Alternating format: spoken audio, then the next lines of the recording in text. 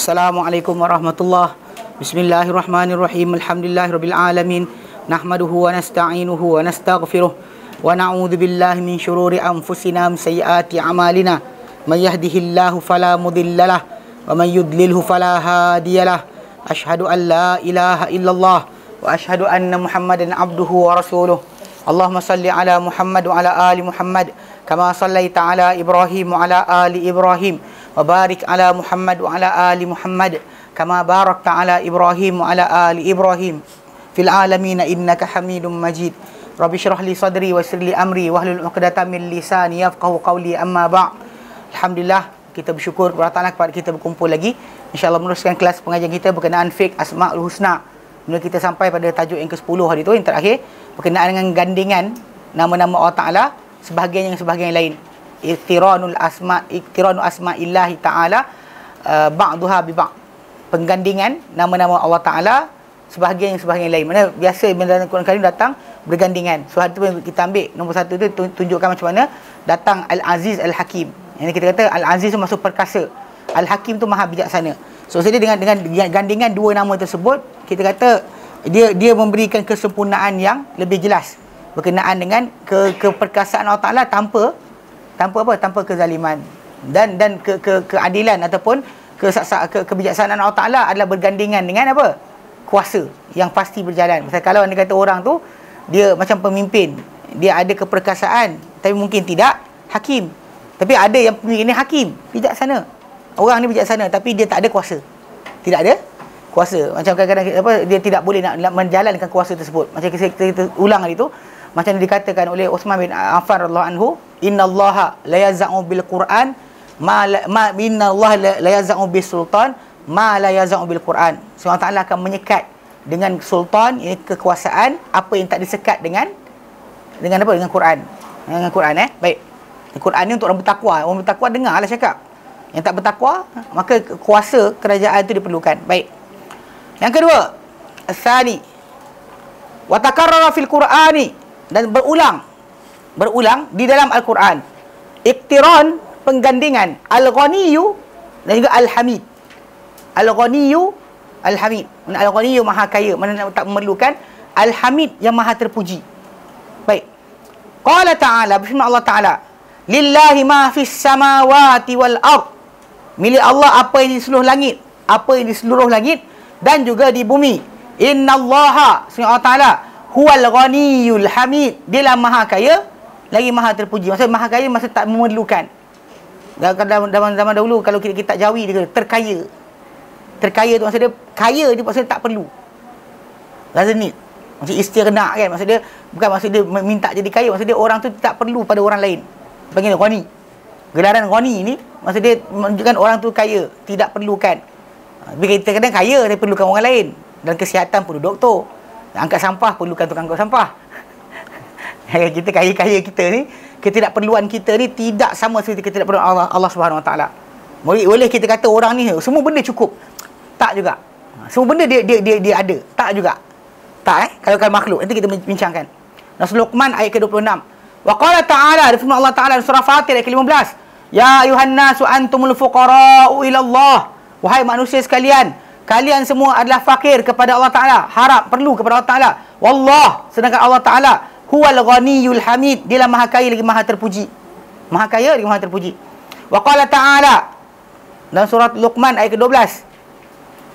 Allah Taala nyatakan eh luqman ni. Situ kata apa?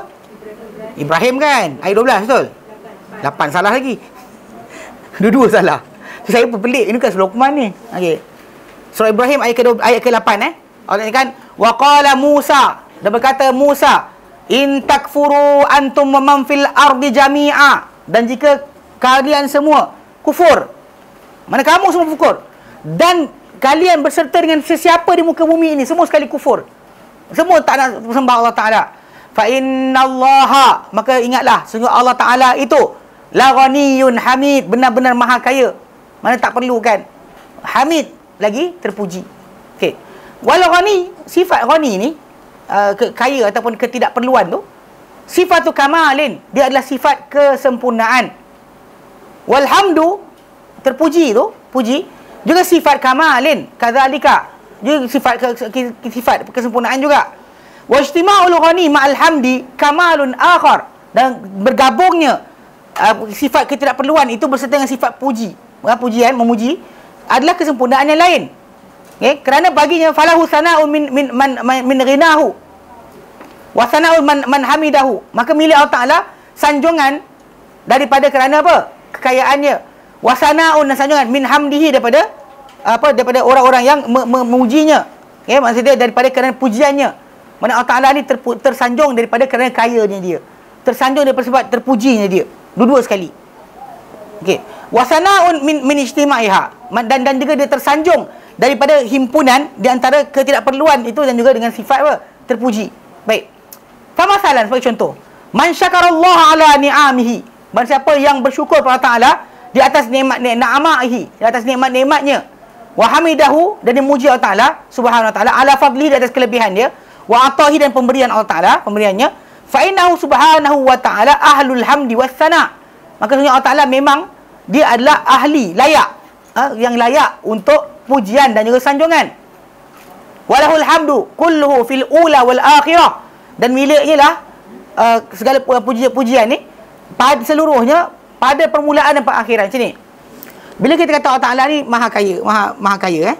Mana boleh provide everything. Dia tak perlukan dan dia maha kaya. Kalau dia bagi kita sesuatu. Memang eh, kita kata. Dan kita puji dia atas pemberian dia. Itu biasa logik lah. Biasa kita orang puji orang yang tolong kita. Orang tu tolong kita, bantu kita, kita puji yang membantu dan menolong kita. Itu tak pelik. Memang tak ada tak ada sebarang ke, kepelikan untuk seorang tu memuji sesiapa yang memberi kebaikan kepada dia. Tapi sekarang Allah SWT, dia ada sifat satu lagi. Tanpa dia memberikan pun, dia masih terpuji.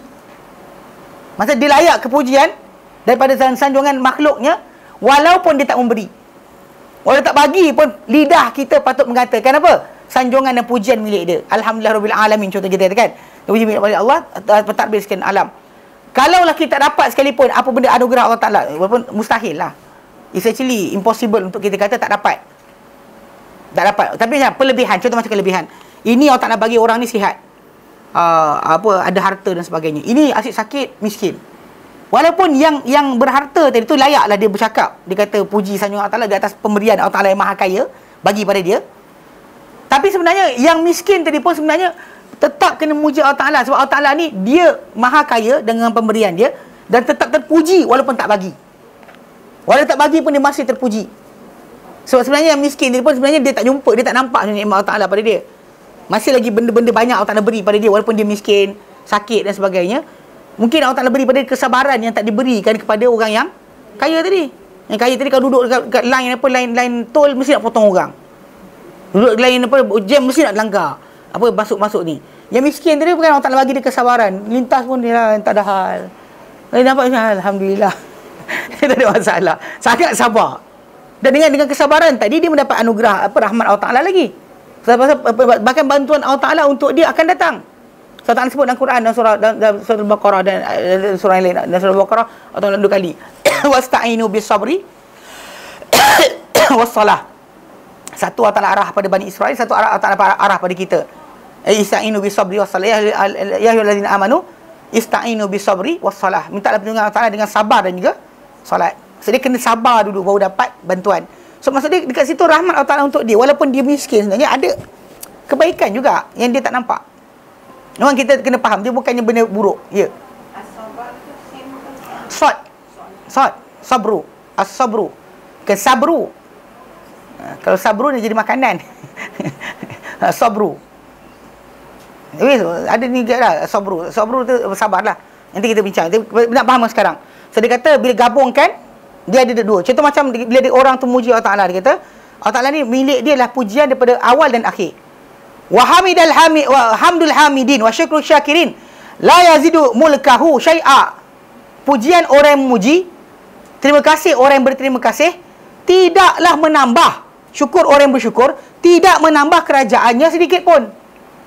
Kenapa? Li'annahu subhanahu wa ta'ala al-ghani fala tanfa'uhu ta'atu man ata'a. Dia maha kaya yang takkan apa memberi fa'nahat kepadanya ketaatan orang yang taat Wala tadurruhu ma'siyatu man asa dan tidak memudaratkan Allah Taala kemaksiatan sesiapa yang berbuat maksiat. Penderhakaan siapa yang berderhaka tidak memberikan efek pada Allah Taala. Pasal dia maha kaya dan dia maha terpuji. Maksudnya apa keadaan sekalipun dia tetap yang mulia dan tertinggi. Faham tak? Kita ni ada efek. Kalau orang tak suka kita kan. Kita boleh masalah terasa sikit. Yang tak sayang kita ke. Orang tak apa tak datang kelas kita ke. Macam makin sikit kelas apa pasal? Kan ustaz dah lah. Saya tak apa. Dia saya lama sekali. Okay, yang lain tak boleh. Dia, dia ada ada dia kita buat rating. Masalah ni. Uh, jadi mereka kadang ada orang runsing. Memang ada saya tengok. Orang yang runsing. Kenapa orang tak ramai? Dia sebenarnya penerimaan manusia kepada manusia yang lain tu Allah Ta'ala yang aturkan. Kan? Kalau kita memang betul memerlukan kepada audiens dan sebagainya. Tapi Allah Ta'ala kita tak sembah dia pun dia kaya. Kita tak puji dia pun dia terpuji. Itu sifat maksud tinggi yang yang kita kata kedudukan itu tak ada siapa boleh capai. Tak akan dicapai oleh makhluknya. Maksud dia ke kepujian, dia terpuji walau apa keadaan sekalipun. Hatta dia hukum hamba ni pun dia terpuji. Dia belah kasihan dia terpuji, dia azab pun dia terpuji. Dia beri dia terpuji, tak beri pun dia terpuji. Tak ada siapa boleh menambahkan. Bahkan dalam masa yang sama pula kekayaan tak memerlukan Allah Taala pada kita sangat-sangat tinggi sampaikan kalau sekiranya kita tak ada pun dia tetap maha kaya. Bahkan macam dalam hadis Nabi SAW Dalam hadis yang dikatakan oleh Muslim Yang Nabi kata Ya ibadi kan? Nabi kata Allah Ta'ala kata Wahai hamba-hambaku Kan? Hamba-hambaku. Nabi kata Kullukum Kullukum dal. Kamu semua sesat. Illa man hadaituhu. Kecuali siapa aku beri hidayah padanya. Fastahduni ahdikum. Minta hidayah pada aku Aku beri hidayah pada kamu. Ya ibadi hai hamba-hambaku. Kullukum ja'i kamu semua lapar. Illa man at'amtuh. Kecuali siapa yang aku beri makan padanya. Fastat'imuni ut'imukum minta makan pada aku aku beri makan pada kamu ya ibadi kullukum ar. Kamu semua telanjang tak ada pakaian. Illa man kasaituhu siapa aku beri pakaian padanya. Fas taksuni aksukum. Mana minta pakaian untuk aku aku pakai pakaikan pakaian kepada kamu. Saya hujung hujung hadis tersebut Nabi kata Allah Ta'ala kata Ya ibadi Wahai hamba-hambaku Lau anna awwalakum wa akhirakum. Kalau makhluk pertama kamu The first creature among you Wa akhirakum Sehinggalah makhluk akhir. Wow tu makhluk ilah eh, Wow dengan maksud ilah Wa akhirakum Sehingga makhluk akhir kamu Wa insakum wa jinnakum Manusia kamu, jin kamu Kalau makhluk awal kamu Sehingga makhluk akhir kamu Manusia dan jin semua sekali Ala atqa qalbi rajulin wahid minkum Berada pada tahap hati lelaki paling bertakwa di kalangan kamu Mana semua hati macam Muhammad sallallahu alaihi wasallam semua hati macam Muhammad. Dan kita asyik doa kan. Nawir qulubana ya Allah. Kakal bi rasulika. Ya Allah. Katakanlah Allah makbulkan doa tu. Semua sekali jadi hati macam Muhammad. Kan? Semua sekali berada tahap hati Muhammad. Tak ada seorang pun yang kufur. Allah kata, Ma zada dhalika fi mulki syai'a. Tidak menambah itu pada kerajaanku sedikit pun. Tak ada kerajaan Allah Ta'ala, kingdom dia makin besar. Tak ada. Wa, wa, walau anna awalakum wa akhirakum. Kalau makhluk pertama kamu sampai makhluk akhir kamu. Wa insakum wa jinakum manusia kamu, jin kamu. Semua sekali ala afjari qalbi rajulin wahid minkum berada pada tahap lelaki paling jahat dengan kamu semua macam Abu Lahab semua macam Abu Jahal semua macam Fir'aun lah contohnya ma naqasa dhalika min mulki syai'a tidak mengurangkan itu dari kerajaanku sedikit pun ni ini sifat ghani you hamid tu dipahami dengan hadis tersebut maka nak ayat surah Fatir lah Allah katakan sambungan ayat yang ke-15 Allah kata apa uh, dia kata ya ayuhan ya ayuhan hai manusia sekalian uh, antumul fuqara Allah kamu semua fakir kepada Allah Taala. Wallah taala huwal ghaniyul hamid. Dia lah maha kaya maha terpuji. In yasha, in yasha. Jika dia nak in yasha jika dia nak yudhibukum dia binasakan kamu. Kemudian wa ya'ti bi khaliqin jadi dia datang makhluk baru. Kalau dia nak dia binasakan kamu, datangkan makhluk baru pula. Mana ganti ke tempat kamu. Muhammad zalika 'ala Allah bi aziz tidaklah itu di sisi Allah Taala perkara yang sukar dan kita mata kita kita nampak sendiri mana pertukaran apa bangsa kan bangsa yang apa Firaun yang membina yang bina apa membina piramid. Allah Taala musnahkan mereka. Datang bangsa baru gantikan. Tak reti buat piramid tak tahu bahasa apa. Ha, kita kat Malaysia ni kan lembah bujang apa tah yang dekat apa dekat apa dekat Kelang Petani ada dekat Merbuk tu kan. Ya apa apa dia ada tempat candi tu tempat tu tempat relau besi. Tempat pemprosesan besi. Orang kampung tepi tu tak reti buat paku sebatang pun. Paku sebatang tak dia buat. Pakcik sebelah tu. Tapi kumpulan yang asal dari mana lagi? Eh, orang tak hilangkan. Datang makhluk baru. Macam dekat-dekat apa? Dekat Angkor Wat di Vietnam tu kan? Kita juga dia bukan orang tunjuk gambar satu kuil. Sebenarnya dia satu pekan. Satu bandar sekali dengan eh, pasar, sekali dengan tandas awam pun ada tahu tak? Ini benda yang menunjukkan bahawa Allah Taala hilangkan kemudian ganti. Pasal yang baru datang tinggal situ, pak-cik-pak-cik tu buat rumah buluh. Dia orang punya bangunan batu. Kalau dia orang descendant yang sama mesti boleh buat lagi. So dia, dia tak boleh buat. Aztec Maya, sebutlah nama. Timbuktu di Afrika. Dia bukan setakat satu bangunan. Kalau satu bangunan kita fahamlah orang silap buat. Terbuat besar sikit. Kan terkaya sikit, terbuat besar. Tak apalah. Ini bandar. So kaum tu hilang, ganti kaum baru ganti. Take over. Yang baru ni tak, tak boleh buat apa yang dulu buat. Sampaikan orang, apa ahli sains, apa arkeologi, ahli arkeologi sebagainya, punya pening kepala tak faham macam mana boleh jadi bahkan orang tak tahu sebenarnya orang musnahkan satu bangsa datang kaum kedua datang tak boleh buat benda yang pertama buat. Bahkan bahasa mungkin bertukar budaya bertukar. Jadi bila Allah Taala ganti kan tak ada jawapan macam mana piramid dibuat. Aztec Maya kemudian di apa di apa di kaum Samud. Bandar Samud kan Petra Jordan tu kan yang bercantum bandar tu sampai ke sampai ke sampai ke apa ke, ke Saudi Arabia. Bandar tu punya panjang. Dia pahat bukit buat rumah. Tapi an, a, a, akhirnya tak tahu jawapan macam mana mereka buat. Apa jadi? Ha, ini dibuat oleh makhluk asing. Alien buat. La ilaha illallah syarikalah. Mudah sangat kan? Tak ada benda tak faham je. Alien buat. Habis tu bila, bila sakit perut tak Alien buat lagi. Kan? Alien buat. Semua alien buat. Faham tak? Ini Allah Ta'ala hilangkan dah. So kita depan masa kita dah lihat. Dalam akhir surah sajadah. Uh, awalam yahdilahum kam ahlakna min qablihim min qurun yamshuna fi masakinihim awalam yahdilahum adakah tidak menjadi petunjuk untuk mereka? Kan? Kam ahlakna min qablihim. Betapa banyak telah kami musnahkan sebelum daripada mereka. Minal qurun daripada generasi-generasi. Yamshuna fi masakinihim yang mereka ni yang sekarang ada ni berjalan di rumah-rumah tempat tinggal kaum terdahulu tu. Inna fi dhalika la ayatin. Sebenarnya pada itu ada petanda, ada petunjuk. Afala yasmaun? Kau tak mendengar ke tengok dah nampak dua mata. Tapi baby hilang. Tu Allah kata? Dia tak perlukan kita. Kalau kita tak ada pun dunia tak rosak pun. Sebenarnya lagi teruk lah yang extend dah sangat dahsyat. Bila kita push pemahaman ni jauh sikit sampai sekali kita pun sebenarnya pada dunia ni hanyalah benda yang additional. Tak ada kita pokok tetap tumbuh. Kan? Semua sekali ada tak ada dunia tak rosak pun. Sebab kita macam pasal Adam AS turun ke dunia ketika mana bumi dunia dah siap. Bumi dah ada bahkan telah didiami sebelum kita oleh jin. Dan kemudian kita kata alam ni dah ada sebagainya tak ada baru nak turunkan tak ada. Dah asal-asal ada. Adam datang pakai je. Kita datang pakai alam ni je. Maka ni alam ni punya dahsyat sampai kan kita kata semua benda apa? Biodiversity. 3-4 tahun ni baru start bincangkan. Biodiversity. Sebab apa? Semua benda kat dunia ni dia ada berkaitan dengan benda lain. So dia kalau musnah ini ini rosak. Musnah ini ini rosak.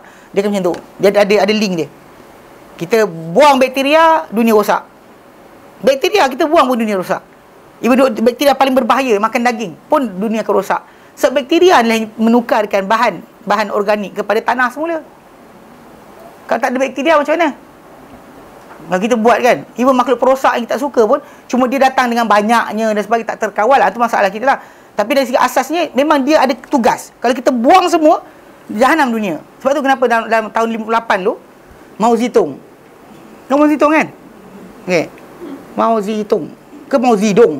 Nama pun pelik-pelik. Ha? Tanya orang Cina sebut kan? Mau, masalahnya dia pun ada pelat-pelat juga. Kena tengok pelat apa? Mandarin. Ah, Mandarin lah. Orang orang kata ni suka kata lain pula. Mao Zedong. Mao Zedong. Okey. Contoh ni. Dia ada satu. Okey. Dia kata tahun 1958 in 1958 Mao Zedong ordered all sparrow to be killed because they ate too much grain. This was one of the worst environmental disaster in history. Dia kata kat sini kan. Dia tu apa dia tak dia kata decided dia, dia kata dia, he decided that China could do without pests like sparrows. Mao thought that sparrows ate too much grain and it seemed rational to him for all sparrows to be killed. Dia buat rancangan untuk bunuh semua sekali. Kata kata, according to, uh, to Mao Zedong, sparrow were getting in the way of economic development of the People Republic of China. Penghalang kita ni lah burung pipik ni kata. Punya bodoh kan. Kan? Dia kata, during the next three years, 45 million people died in famine cause of economic mismanagement environmental disaster and state of terror 45 juta dalam satu video saya tengok 60 juta tau hanya bunuh burung burung tu pasal burung pipit tu kan apa burung makan padi tu kan. Sparrow tu betul dia makan padi sikit. Tapi yang banyak dia makan dia nakkan protein yang lebih pada serangga. Dia makan serangga. Dia sebenarnya pengawal serangga juga. Macam tuan tak suka kerengga lah. Nak buah cantik tak nak kerengga. Anda kena pakai racun. Kalau tak nak nak buah cantik biarkan kerengga ada. Dia dah akan makan lah. Kumbang-kumbang datang tu dia akan jaga.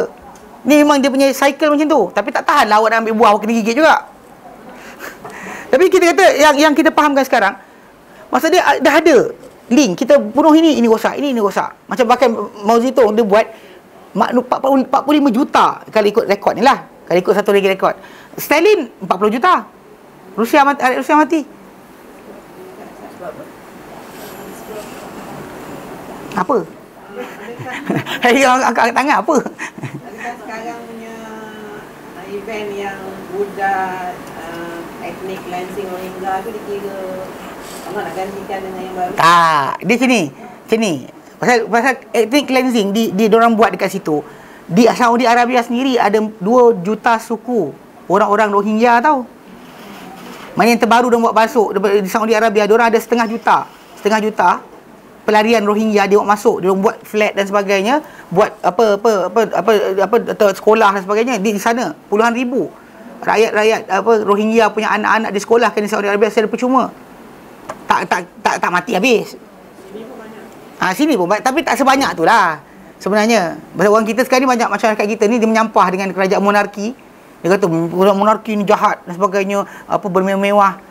Tak? Di, di, apa, di, apa, yang, apa, di, di Saudi Arabia tu dari zaman dulu lagi pelarian daripada mana negara Islam negara umat Islam yang bukan umat Islam lah negara yang orang Islam ditindas dia orang bagi masuk dengan mudah tu tuan pergi dekat dekat Mekah Madinah perhatikan orang-orang petani banyak. Sebab dia orang tu pelarian. Kalau kerajaan Malaysia bunuh kita lari sana dapat jugalah kerakyatan. Faham tak? Dia orang tu boleh lari dengan mudah sebab zaman dulu lagi atuk nenek dia. Even sebahagian daripada imam-imam masjid masjid masjid haram macam dulu Syekh Muhammad Ayub dia keturunan Arakan. Arakan kampung yang kena bunuh tu kan? Dia daripada kampung tu. Daripada zaman dulu dia bawa lari. Dipindahkan ke Saudi Arabia. Kita kata ada 2 juta, juta Ethnic cleansing Wallahualam Kan? Macam Aceh pun mati banyak 400 ribu lebih Tapi tapi tidaklah Sampai uh, Macam tu Ada jumlah lagi tertinggal. Kan? Tapi nak fahamkan sekarang Nak fahamkan Kalau Allah musnahkan Dia boleh ganti lain. Pasal alam ni Tak perlu kita.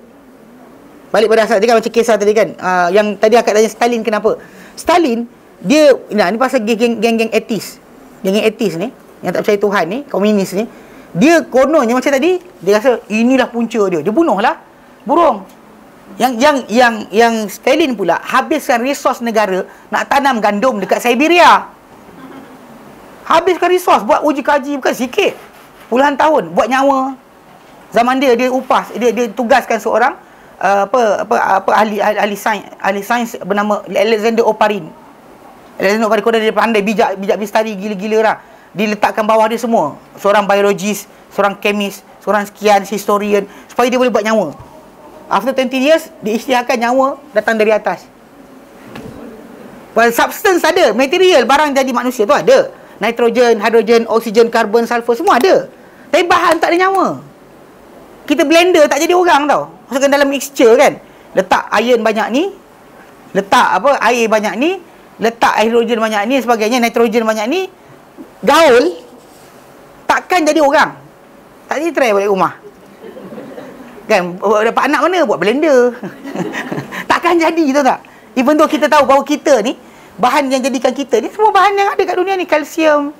Kan? Kita tu ada, ada macam 11 unsur lebih kurang. Ada ada yang keluar masuk keluar masuk ada yang kekal. Macam kita punya uh, daging kita daging kita protein kan? Protein yang kita daripada daripada lima unsur. Protein daripada lima unsur. Nitrogen hidrogen oksigen karbon sulfur. Tapi beza dia adalah tidak ada nyawa. Dia buat kajian. Even apa yang dibuat oleh apa apa yang yang sekarang macam Britannica uh, apa Encyclopedia Encarta Britannica dia, dia letakkan gambar tentang apa DNA tu kan. Apa ataupun acid amino tu. Kan dia letakkan apa ahli apa ahli sains daripada US.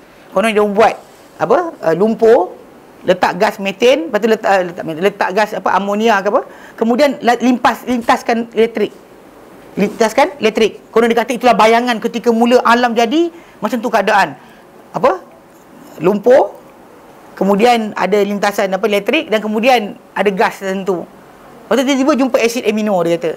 US buat tu sebenarnya Rusia buat dulu.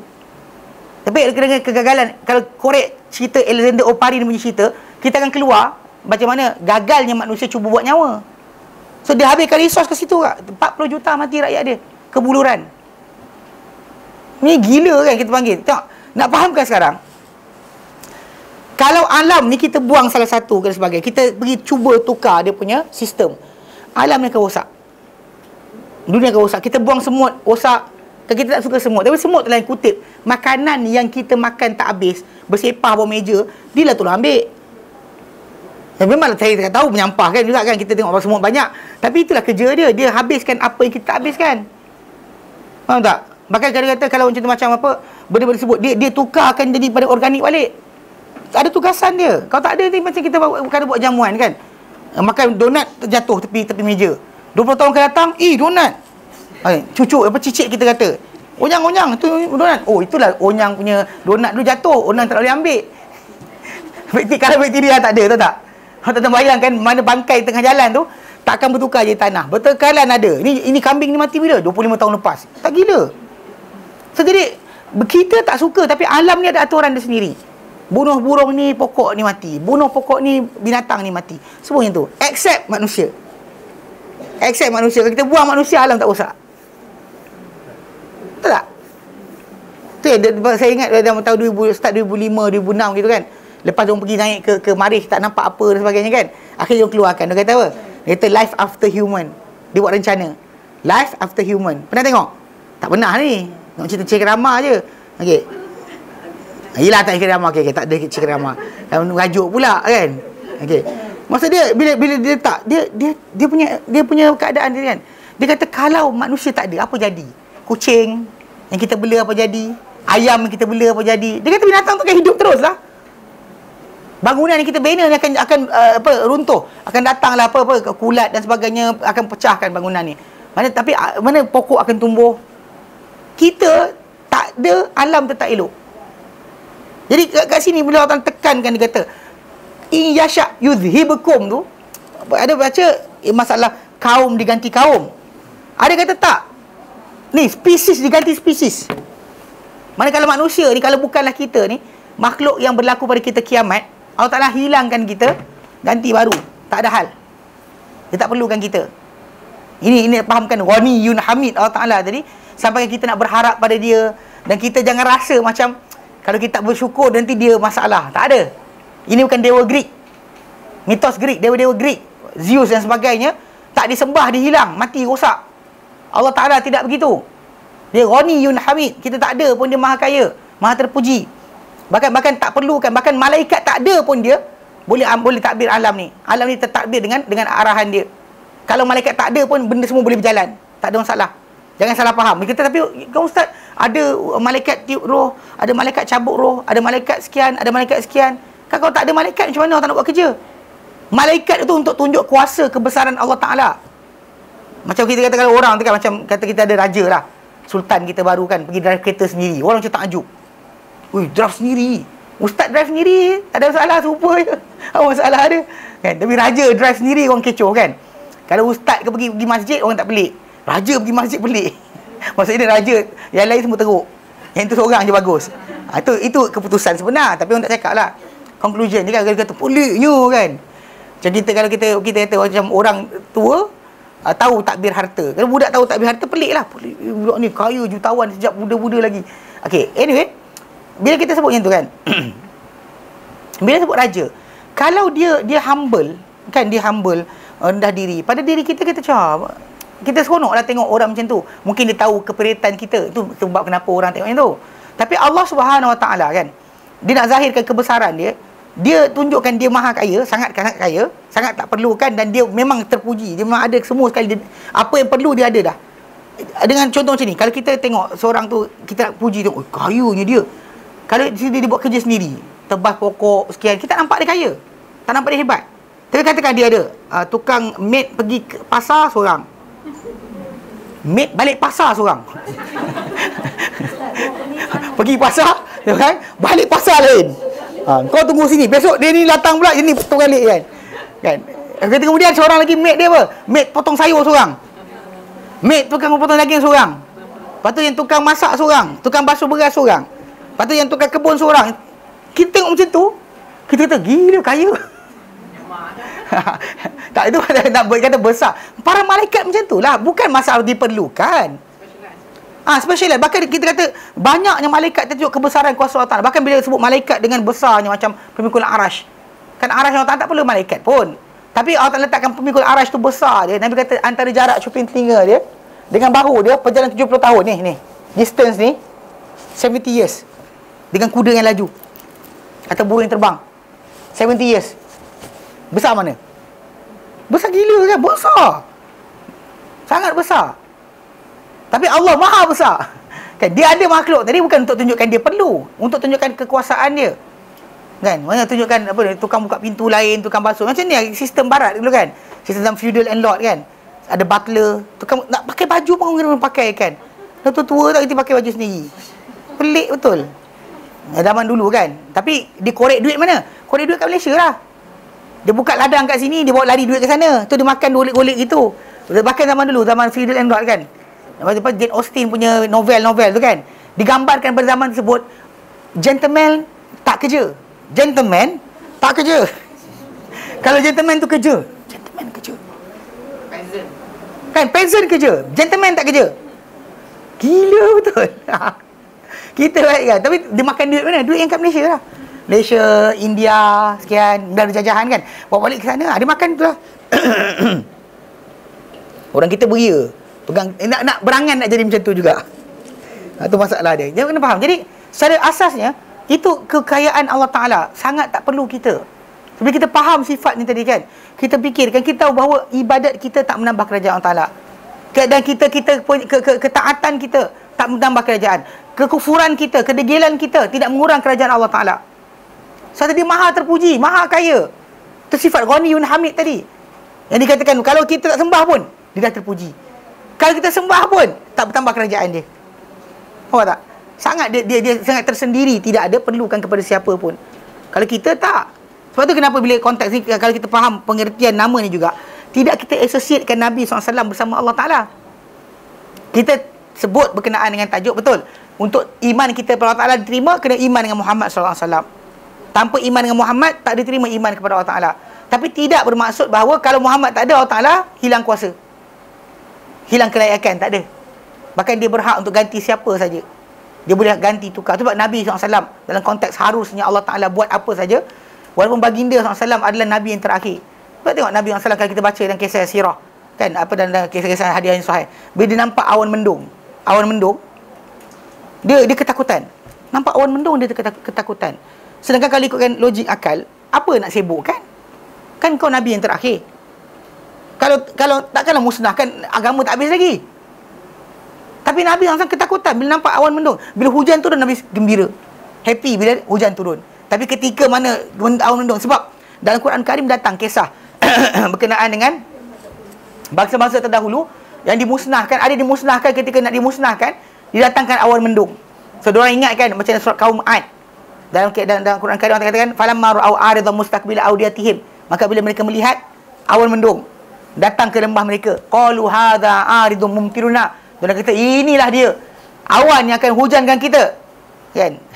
Kan dia orang dia dia dia ingat kan hadza aridum mumtiruna Allah Taala jawab bal huwa mastajaltum bih. Bahkan ia apa kamu segera minta cepat-cepat sangat pada nabi. Kan nabi eh mana mana hukuman? Mana hukuman? Allah kata rihun fiha azabun alim dia adalah rih angin. Apa dengan apa apa apa, apa, apa padanya ada azab yang pedih. Tudammiru kulla syai'in bi amri rabbiha. Yang memusnahkan semua benda dengan perintah Tuhannya. Fa asbahu la yura illa masakinuhum. Maka mereka menjadi tak terlihat kecuali tempat tinggal mereka saja so kalau kita baca kisah tersebut kan mana nabi bahkan bila nabi pergi ke tempat-tempat orang yang dimusnahkan kerana sifat ghaniyun hamid Allah Taala tadi nabi pergi ketakutan.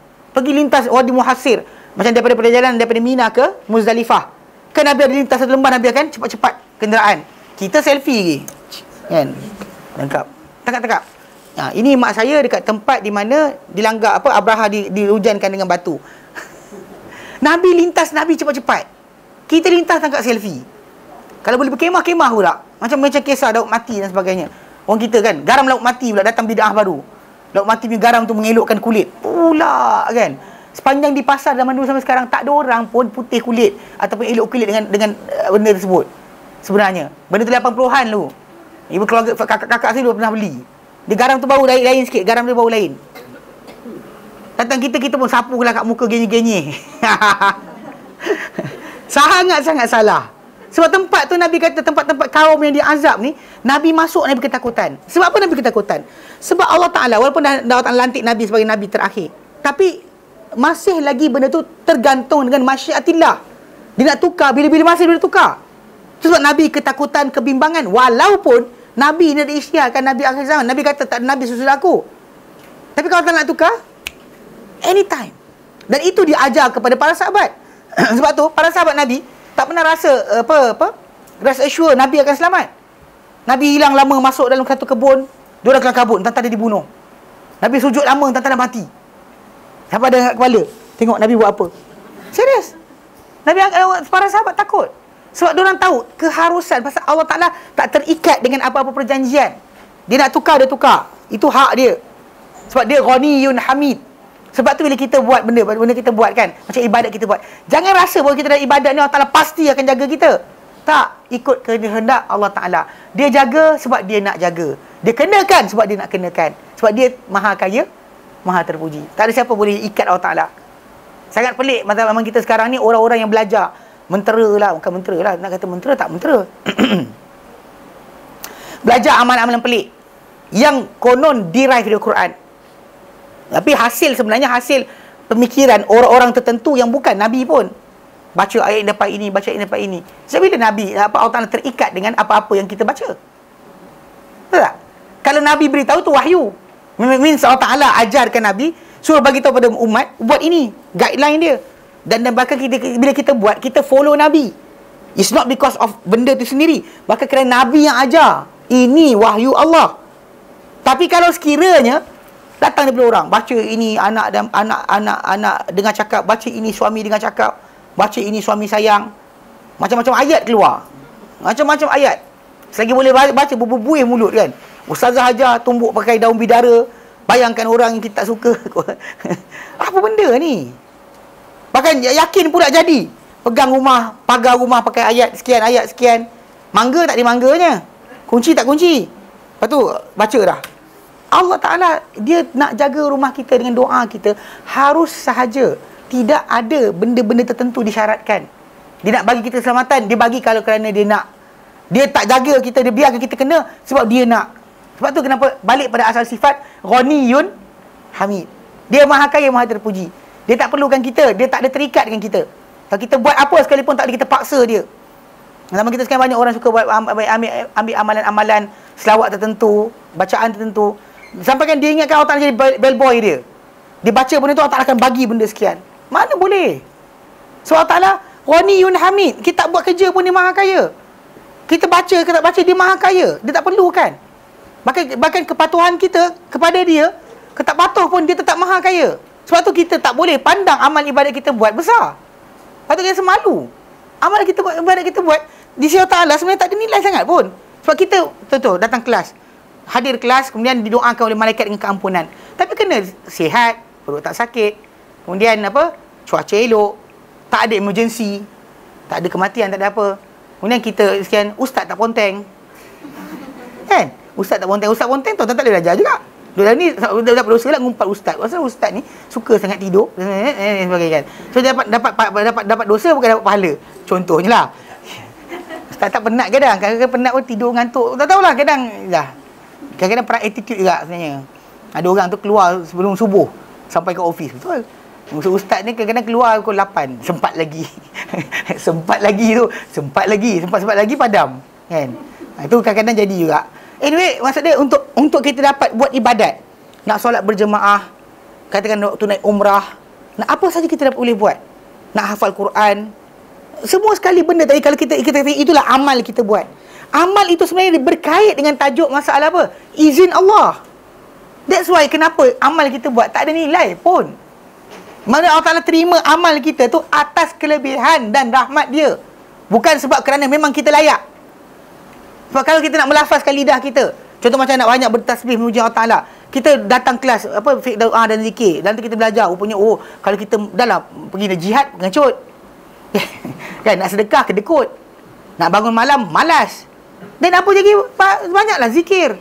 Mengisi ruang waktu yang kita ni lalai kan. Itu maksudnya kat situ kita dapat ilmu. Ilmu tadi nak sampai pada kita, dia ada link tadi lah. Nak dapat kita pahala pun semua ada link dari Allah Ta'ala. So, sebab tu kita kenapa tak boleh kita nak belagak. Merasakan Allah Ta'ala mesti bagi kita. Sebab dia nak bagi, dia tak bagi, harus sahaja.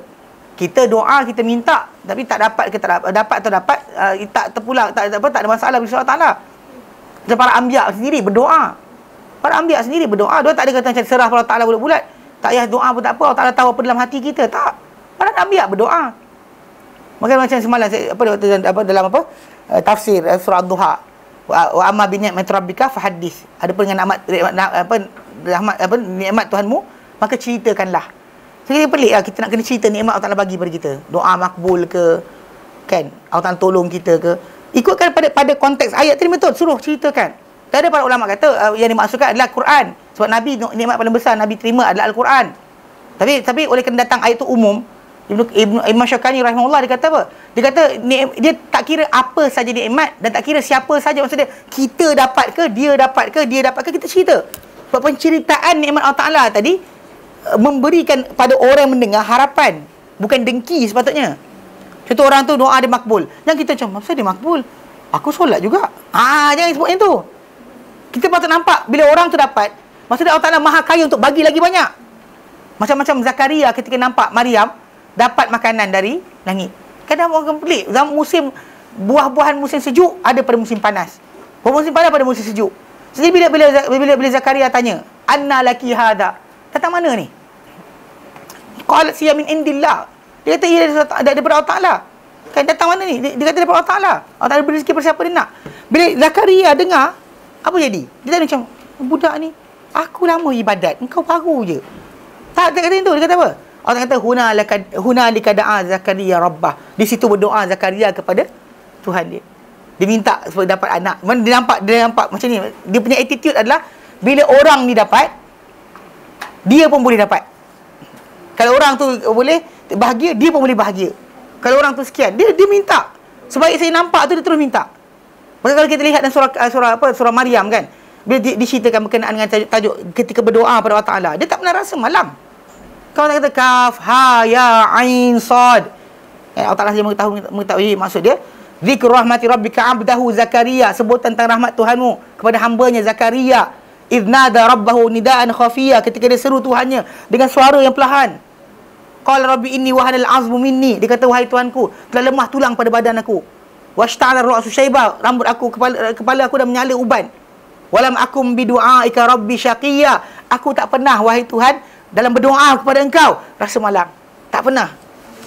Bahkan dia tak rasa pun bila tak dapat tu dia tak rasa pun Allah Taala tak sayang dia.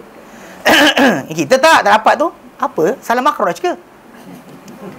Kan? A ke A? A. A. A. Faham tak? Itu kita. Para itu beza perbezaan di antara cara para anbiya kan tunjuk dan Quran tunjuk tu pasal dia tahu Allah Taala Maha Kaya. Dia tak boleh paksa Allah Taala. Dia Allah Taala nak bagi dia bagi sebab dia nak bagi. Dia tak rasakan benda berkenaan kena paksa Allah. Tak ada macam aku dah baca ni kau kena bagi. Bila orang ajar amal pelik-pelik kan, itu ajaran yang salah. Sebab Allah Taala tak boleh jadi bellboy kita dengan kita baca benda sekian dia bagi benda sekian. Kalau nak ini, baca ini, baca ini, baca ini. Kalau nak ini, baca ini, baca ini, baca ini, baca ini. Kan, tiupkan muka orang tu pula. Kan, kalau ada air dia lagi bagus. Macam mana? Kan, pelik. Sebab Allah Ta'ala ni Yun Hamid. Fahamkan kedudukan kita dengan dia. Dia nak bagi ke, tak bagi ke, dia hak yang mutlak. Kalau kita tak nak sembah dia, dia maha kaya. Dia maha kaya. Kalau dia bagi kita kekurniaan, itu daripada kemurahan, apa, kemurahan ataupun ke ke apa ke apa uh, apa uh, sifat jawad ataupun sifat-sifat sifat pemurah. Pemurahnya dia. Sifat karimnya dia. Bukan sebab kerana terpaksa. Perlindungan dia bagi pada kita pun sebab dia nak bagi. Bukan sebab terpaksa. Faham tak? Sebab dia maha kaya. Kita tak ada pun dia tak perlukan kita tak ada macam kalau kita hilang ni ke kerugian agama tak ada dah agama sentiasa akan ada orang lain bantu sentiasa akan ada agama yang Allah datangkan orang yang membantu tak nak kita buat kerja dia ganti orang lain kan dia ganti orang lain Itu yang yang Allah Ta'ala janjikan dalam Quran. Memang itu itu dia, dia gantikan kita. Macam Allah nyatakan apa? Uh, dalam ayat yang Allah nyatakan. dia katanya ya. Tak ingat nombor ayat. Uh,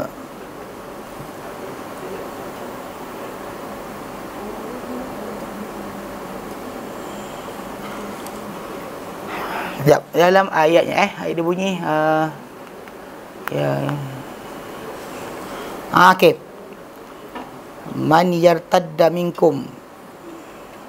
Uh, surah Al-Ma'idah ayat 54. Allah Ta'ala nyatakan. A'udzubillah minasyaitanirrajim. Ya ayuhalladina amanu. Hei orang-orang beriman. Man yartadda minkum an dinihi. Siapa-siapa di kamu yang murtad. Daripada agama Allah Ta'ala fasau fayatillah bi qaumin akan, akan datangkan satu kaum yang lain. Kamu tak nak buat kerja tak ada hal. Allah Taala datangkan kaum lain. Mana ayat tersebut? Berikan sifat kaum tersebut. Yuhibbuhum yuhibbuna mereka cinta Allah Taala Allah Taala cinta mereka mereka cinta Allah Taala. Aizatin azillatin al mu'minin. Mana mereka merendah diri pada orang beriman. Aizatin al kafirin menunjukkan kekerasan kepada ketegasan kepada orang-orang yang kafir yujahidna fi sabilillah. Mereka berjihad jalan Allah Taala. Wala yakhafun lawmata laim mereka tak bimbang celaan orang yang mencela. Mesti kalau kita nak buat kerja Allah Taala ganti lain. Jangan kita sangka kita. Tak ada kita agama tak berjalan. Kita kat Malaysia tak buat kerja pun tengok agama Islam berkembang ke Eropah. Nombor empat. Ayat nombor empat. Okay? Baik, itu sebab Ghaniyun Hamid Sifat ya, bagi Allah Ta'ala Yang kita kata kebesaran dia apa dia buat apa dia kan tak tercipta akan dipersoalkan dan dia tak nak bagi dia tak bagi itu hak dia. Bahkan kita nak sembah dia dia maha kaya. Dia tak terikat dengan hamba. Lepas tu bila kita rasa kita rasa meminta pada dia kita kena rasa bahawa kita sangat memerlukan. Sebab dia hanya dia boleh memberi. Kemudian dalam pemberian dia tadi dia nak bagi atas dasar dia nak bagi bukan sebab kita paksa dia. Tak ada benda terpaksa. Dia nak buat dia buat.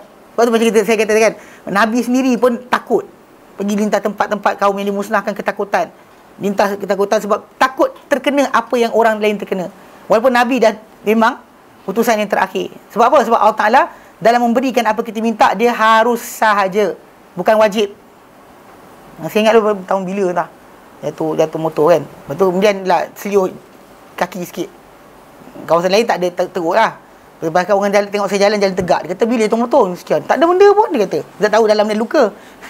dan baju luka ke. Tapi kelakar lah. Lepas tu pergi berurut. Pasal lutut lari sikit.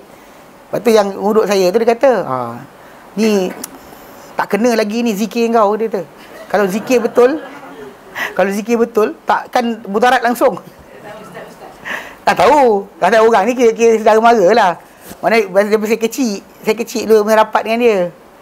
Belah keluarga bayi pas saya. Dia baik lah Tapi gitulah dia kata Tak betul lagi zikir ni Kalau zikir betul Takkan Takkan binasa ni Dia kata Takkan boleh ada apa-apa. Saya kata dengan dia kalau sekiranya Tak ada tak luka langsung Sujud kaki Cukup sujud kaki saya orang nanti. Kan, Tengok-tengok jatuh Tak ada benda langsung. Orang Allah Akbar. Tahu tak? Jangan buat pasal Dia kata. Biar kita sakit tak apa Jangan sampai kita jadi rosak akidah. Dia kata. Dan bahkan, bahkan pada tu saya kata Allah Ta'ala beri harus saja Kita doa dah keluar rumah. Nak pergi pun ngajar Bukan pergi pergi minum kopi ke kedai Bukan nak pergi tengok bola. Tapi dah nak jadi, jadilah. Aturan Allah Ta'ala. Kena. Kita doa, minta perlindungan. Tapi kena juga. Bila kena juga, kita reda. Nak reda. Jangan nak marah orang tu pun, fikir dua kali. Ikutkan pada pada pada isi. Saya nak sepak kita orang tu. marah biasa lah. Isteri marah kan orang tu. Saya kata, relax tak apa. Kan? Dia tak nak mengaku ke. Okey. Waktu mula langgar tu, dia kata, sorry, saya tak nampak tadi sebagainya. Tak ada main telefon, Allah Alam. Saya tengok biasa orang perempuan. Saya perhatikan. Dia jawab telefon dah, pegang mesej sambil kona rasa tendang kereta kita lintas sebelah tu kan. Tengok jeling-jeling kereta dia bergaya kan. Kita lintas dia macam gitu. Bila intai jeling sikit dah tengok. Memang tengah main mesej lah. Tengah tengah jawab ni lah. Rasa nak sepak je cermin, cermin tingkap dia. Tapi tak boleh kan. Polis marah. Kan kena ada kamera tangkap gambar nombor nanti kan kena saman. Anyway kan. Saya kata saya dia tak nak mengaku sudahlah kalau kita gaduh pun tak tak beri kesan. Jatuh-jatuh dah. Tak ada kalau kita maki dia luka kita sembuh semula. Ha, kalau sembuh semula marah. Maki dan juga ni, ambil kayu ketuk-ketuk pun tak apa. Yang penting pasal kita ujung tadi kita balik pada asal apa? Percayalah kalau memang nak kena tak pusinglah mana pun takkan lepas. Takkan lepas. Kalau tak kena tu kan, kalau nak nak kena tu bawa slow pun orang langgar. Kalau tak kena tu bawa macam gila pun elok sampai. Pelik betul kan ada orang macam tu. Eh, macam orang gila. Saya cakap ni ada seorang student kata, "Ah betul ustaz, saya bawa laju kereta tapi tak pernah kena. Tiba-tiba depan rumah saya, saya bawa slow kena langgar." tu faham, faham pasal, pasal kita sini.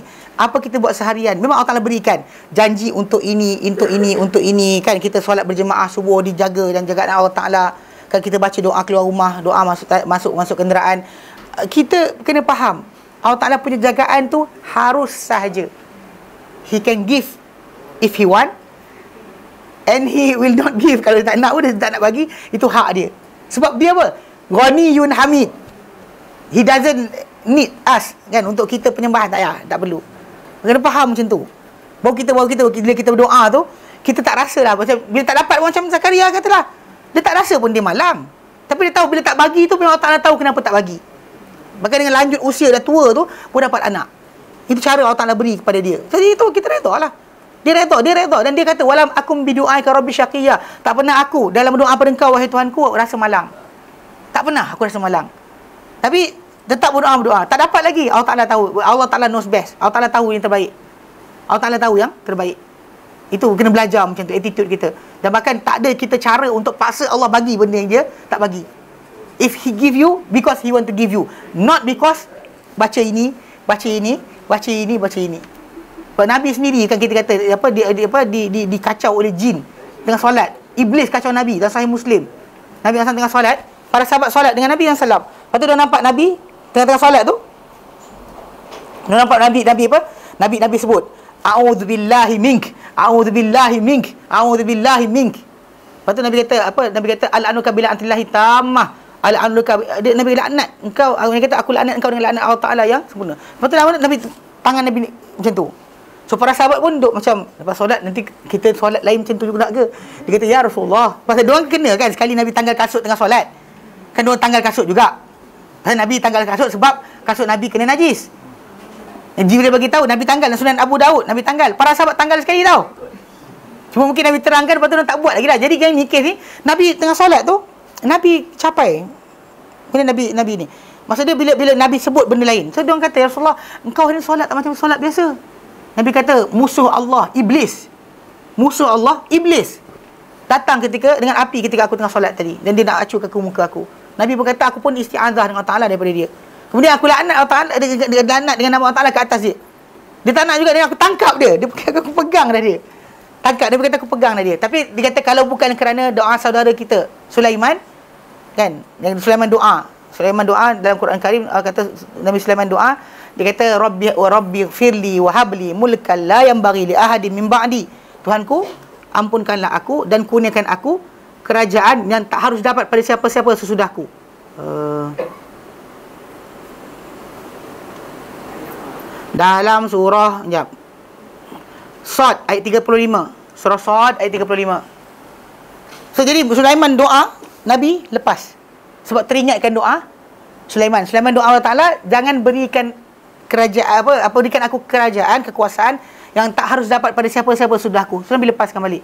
Okey, kalau kita baca ayat kisah ni kan. Kan Nabi ajar pada kita, barang siapa yang baca ayat kursi ketika awal pagi, dijaga dia daripada jin sepanjang siang. Kalau jaga baca uh, surah ayat kursi di awal malam, mana petang tu, dia baca kursi, sepanjang malam dijaga daripada jin. Dan Nabi tadi, siapa kacau? Jin kan? Ha, dia sebab kenapa pasal tajuk dia harus. Yang ini buat kerana sunnah. Dapat itu bonus. Tak dapat maksud dia kita dah dah, dah, dah jalankan laksanakan dah perintah Allah Taala. Perintah Nabi dah jalan dah. Cuma masalah jaga macam mana kadar Allah Ta'ala nak. Sebab Allah beri rezeki. Macam malaikat doa untuk kita kan. Ya Allah berikanlah orang yang memberikan hadi, memberikan harta gantian. Tapi kadar diberikan balik pada kita adalah ikut kadar Allah Ta'ala nak. Bukan kadar kita. Kalau ikut kadar kita bagi singgit nak seribu. Kan bila bagi singgit. Lepas tu dapat dapat balik rezeki dalam dua tiga ringgit. Kita macam kan macam Cuba bagi uh, sedekah kat masjid seringgit. Keluar-keluar. Pop dapat seribu. Anda menang cabutan bertuah kata kan. Cabutan bertuah kena sekian nama awak naik dan sebagainya dapat seribu ataupun kita sedekah seribu tiba-tiba ada pak cik kita meninggal tak ada siapa waris kita lah waris dia. Waris lelaki kita lah waris dia. So dapat seribu. Dapat seribu. Kita kata wow sedekah masjid ni dapat seribu. Kan sedekah lagi kita kita nak macam tu nak itulah rezeki. Kalau banyak kalau sikit tak rasa rezeki. Kenapa? Sama je 3 40 sen pun kita doa minta minta rezeki. Cara Allah Taala bagi kau kadar dia. Nak bukan kadar kita, nak. Yang orang kita sampai buat uh, ibu duit tu kan. Kain kelambu Kaabah tu dia ambil masukkan sekian ikat letak dalam cash, cash drawer tu sebab dia sangka bahawa akan tarik tarik duit tau. Tahu tak kain kelambu Kaabah tu orang curi suka nak ambil sebab konon buat ibu duit. ibu duit. Dia buat macam tu atau dia baca-baca lah ayat dia. Lepas tu letakkan duit seluruh negara. Duit shilling seluruh negara. US punya, Canada punya, Afrika punya, kan dia punya. Lepas tu punjutkan letak dekat cash drawer. Jangan buat. Ni bagi tahu jangan buat, kau buat jaga. jangan buat. Tapi dia orang dia orang letak kan. Dia orang harapkan dengan tu tarik duit. Padahal dia menyaga dengan Melayu je. Tang mana dolar nak datang? Nampak ke? Ini lah tu kisah Melayu Melayu kita kan. Dia macam dia buat macam dia paksa Allah Taala. Taklah. Allah Taala nak bagi kita doa je pun Allah Taala bagi dah. Tak perlukan kepada benda pelik-pelik. Pasal dia beri bila dia nak dan dia tak beri bila dia nak. Bukan sebab kerana kita ter- berjaya dengan cara-cara yang tertentu. Paksa dia beri yang apa kita nak. Tak boleh paksa. Allah Ta'ala Ghani Hamid. Maha kaya, dia tak perlu kita. Hamid maha terpuji. Kita nak puji pun dia maha ter- terpuji. Jangan silap faham dengan benda berkenaan. Baik, berhenti situ. Wallahu a'lam. Wa sallallahu ala sayyidina Muhammad sallam alhamdulillah rabbil alamin. Sampai syalal anta astaghfiruka wa atubu ilaik. Assalamualaikum warahmatullahi wabarakatuh.